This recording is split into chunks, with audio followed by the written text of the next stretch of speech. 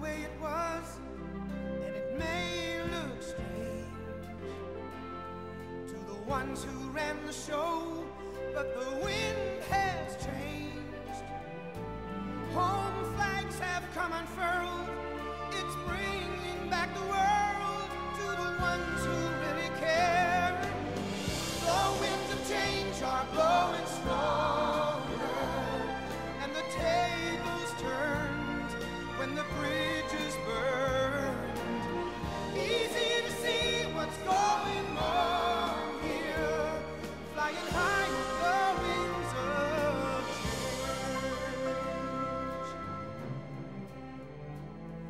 Well, we've taken back control of our precious lands, and we've repossessed our soul from the devil's hands. Some like to call it fate.